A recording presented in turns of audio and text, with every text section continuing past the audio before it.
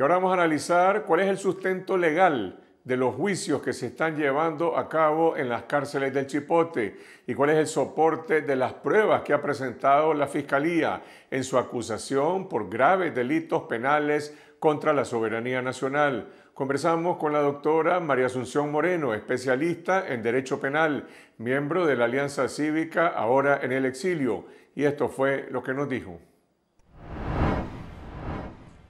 María Asunción, estos juicios con acusaciones por delitos penales que se están llevando a cabo en las cárceles del Chipote contra más de 30 detenidos tienen algún precedente en la historia jurídica de Nicaragua. El hecho de que un prisionero no sea juzgado en una audiencia, en un juzgado, sino en un centro penitenciario, en la cárcel o en un centro de la policía realmente esta es la primera vez en mi experiencia profesional, te estoy hablando ya de más de 25 años de, de ejercicio profesional, que yo veo que se celebran audiencias en las prisiones. Eh, efectivamente, esto probablemente se dio en otros periodos, se habla de que eh, ni en la época de Somoza se había celebrado, pero desde que está vigente la nueva legislación, el Código Procesal Penal, eh, que realmente tenía como finalidad constitucionalizar la justicia y dar mayor garantía y transparencia a la Administración de Justicia. Eh, desde el 2002, que fue aprobado el Código Procesal Penal hasta la fecha, no conozco un solo precedente en donde se hayan realizado juicios en las cárceles.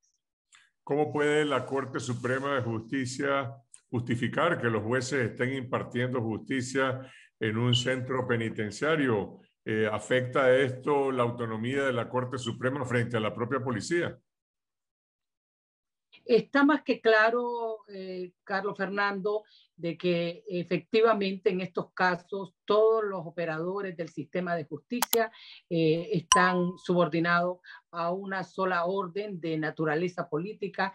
recuerda que estamos hablando de procesos políticos, de juicios a políticos y juicios políticos, que son dos cosas, es decir, se, están enjuiciando a, a líderes políticos eh, en la mayoría de los casos y estamos en procesos de naturaleza política en donde las personas están siendo privadas de libertad simplemente por disentir, eh, por elevar su voz y por realmente pedir libertad y democracia. Y creo que eso lo debemos de tener de fondo para cualquier análisis que queramos hacer en estos procesos.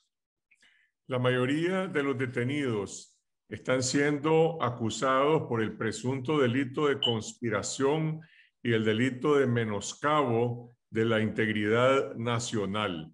El artículo 410 del Código Penal tipifica este delito como una especie de conspiración para fraccionar el territorio nacional, dice, para someterlo de manera parcial o total a control extranjero. Pero las pruebas que han presentado la Fiscalía lo que haciendo es una presentación de opiniones, comentarios en redes sociales, comentarios en WhatsApp. ¿Se puede tipificar ese crimen en base a las opiniones que se le imputan a los acusados? Eh, tal como, como tú leíste, el artículo 410 es muy claro al señalar cuál es la conducta típica. Y eh, efectivamente, la conducta típica, lo que está prohibido en nuestro Código Penal, es realizar actos que tiendan a menoscabar eh, a menoscabar o fraccionar la integridad territorial de Nicaragua. Cuando un ciudadano eh, realmente lo que hace es ejercer su libertad de expresión, eh, efectivamente no estamos ante un acto típico que pueda encajar en el artículo 410. Los, lo que nosotros hemos visto en los escritos de acusación realmente son unas totales inconsistencias, incoherencias no solo jurídicas, sino inclusive eh, de, mínimo sentido, de falta de mínimo sentido común. Cuando eh, ves en las acusaciones la narración de los hechos, que es una de las partes de la acusación, te das cuenta que los hechos narrados ahí no constituyen desde ningún punto de vista actos que vayan dirigidos a fraccionar el territorio nacional o a poner eh, parte o todo el territorio al servicio del dominio de un, de un, de un extranjero. De, además, habla de dominio extranjero. Me imagino que efectivamente están pensando en un país, en otro país. Sin embargo, eh, eh, lo que nosotros hemos visto en el ofrecimiento de las pruebas que están tanto en los escritos de acusación como en los escritos de intercambio de pruebas, te das cuenta que ofrecen una serie de testimonios de realmente de agentes policiales y la gran parte del ofrecimiento de prueba también tiene que ver con actas de allanamiento, que todos conocemos que esos allanamientos realmente se realizaron en la mayoría de los casos sin órdenes judiciales, por no decir que de forma absoluta en todos los casos, sin una orden judicial. Y entonces lo que encontramos también son actos de convalidación de actos policiales. Entonces, cuando en toda acusación los hechos deben describir lo que está tipificado en el Código Penal si es que estamos hablando de una acusación penal.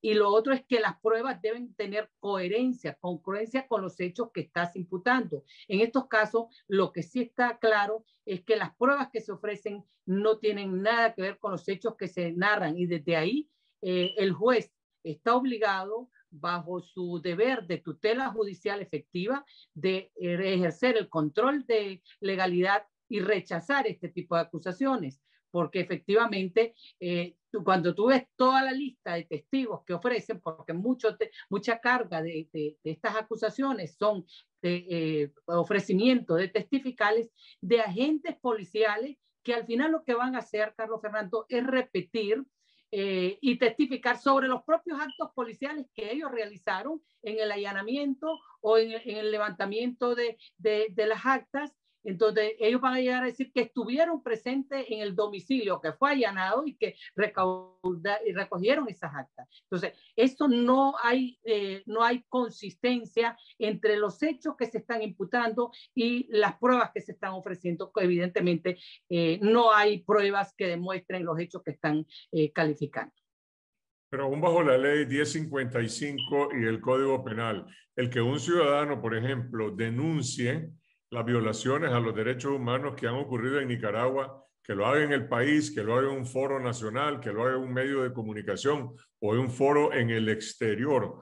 O por el otro lado, que diga que el que ha incurrido en ese tipo de violaciones es el responsable de las sanciones o reacciones que ha producido esa conducta de parte de gobiernos extranjeros. Eso puede tipificarse como menoscabo de la integridad territorial o como conspiración? No. A ver, importante también hablar sobre el tema de la conspiración para después de hablarte del tema del, libre ejercicio de la libertad de expresión, que generalmente en la ciudadanía está asociado al ejercicio de la comunicación y del periodismo, pero realmente recuerda que la libertad de expresión es un derecho fundamental que tenemos todos los ciudadanos y consiste en que nosotros podamos expresar de forma libre nuestras ideas de cualquier naturaleza. Y más aún cuando se levanta la voz para hacer denuncias sobre graves violaciones de derechos humanos, que esto no constituye sin duda ningún eh, fraccionamiento a la soberanía o al territorio de Nicaragua. Por eso te digo que los hechos que se narran en las acusaciones no son hechos típicos, no son hechos que constituyan delito y mucho menos las pruebas que se ofrecen. ¿Qué es la conspiración según la tipificación del delito en el Código Penal? A ver, la conspiración es cuando dos o más personas se reúnen para realizar un acto típico, es decir, dos o tres personas, dos o más personas, pueden ser muchas más, se reúnen, eh, planifican de, realizar la comisión de un delito, cualquier delito. ¿Eso qué quiere decir? Por eso te iba a comentar. Nosotros estamos viendo acusaciones en donde se acusa a más de una persona por los delitos de conspiración, provocación y, proposición. importante porque además la acusación no solo te dice conspiración, te dice que también hay provocación y también hay proposición para cometer el delito de menoscabo a la integridad nacional. Sin embargo, eh, hay acusaciones también, y eso lo, tiene, lo, ya es de dominio público, en donde se acusa a una sola persona por conspirar contra el menoscabo, eh, contra la integridad nacional. Es decir, desde ahí está dándote cuenta que la acusación no tiene ni el mínimo fundamento legal, ni la mínima base legal, porque efectivamente para conspirar necesitas como mínimo tener dos personas y además necesitas demostrar que hubo un plan porque además es un delito doloso, es un delito intencional. en el que las personas se reúnen para conspirar y para planificar la comisión de un hecho. Y de tal forma que eh, lo que hemos visto en las acusaciones es que, por ejemplo, hay casos concretos como el de Miguel Mendoza, en donde solamente se acusa a Miguel Mendoza por conspirar. Eso es técnicamente, desde el punto de vista jurídico, insostenible, porque nadie conspira consigo mismo, nadie propone nadie se propone a sí mismo, ni nadie provoca la comisión de un delito consigo mismo. Desde ahí desde el sentido elemental, del sentido común, te das cuenta que no tiene ninguna base legal este tipo de imputaciones. Si estos juicios no tienen base legal y como ha señalado, responden al patrón de un juicio político, ¿cómo se deshacen las consecuencias de un juicio político? Mira, yo como profesional del derecho siempre digo que el análisis jurídico penal de todos estos procesos lo que hace es desnudar y poner en evidencia que estamos ante un juicio político que no tiene eh, la mínima base legal y que por lo tanto, eh, si, fue, si se resolvieran en, el ámbito eh, jurídico, deberían de declararse procesos nulos son procesos nulos desde el inicio, desde el momento en que fueron detenidos sin ningún tipo de orden judicial. En adelante, este es un proceso que viene en una cadena de nulidades y que sin duda hasta este momento lo que tendría que terminar es con la declaración de, unos de nulidad de estos procesos. Eh, como, como los procesos no se han hecho legalmente hablando, también tendrían que tener algún tipo de salida política, pero ¿cuál de salida política? Esta salida política solamente la puedes encontrar en la democracia. En una democracia entonces se va a respetar el Estado de Derecho y entonces se declararía nulo estos procesos. Eh, de hecho, yo no veo de, eh, de, forma fáctica de que puedan realmente cerrarse estos procesos políticos. Estamos hablando de procesos de persecución política, de criminalización de eh, la disidencia. Y eso sin duda, pues yo como oh, profesional del derecho creo que tiene una salida eh, jurídica que es la políticamente correcta, que es la declaración de nulidad de todos estos procesos.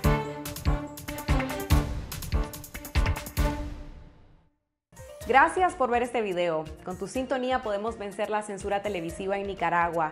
Si aún no lo has hecho, suscríbete a nuestro canal en YouTube. Necesitamos tu apoyo en Confidencial para seguir informando a nuestras audiencias y divulgando la verdad.